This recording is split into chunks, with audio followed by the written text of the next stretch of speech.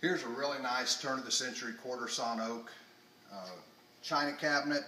Nice size. It's kind of taken up by this outstanding clock on top, but it's got the nice bowed glass doors on the side, a little storage down below there, a couple of drawers here. Super finish.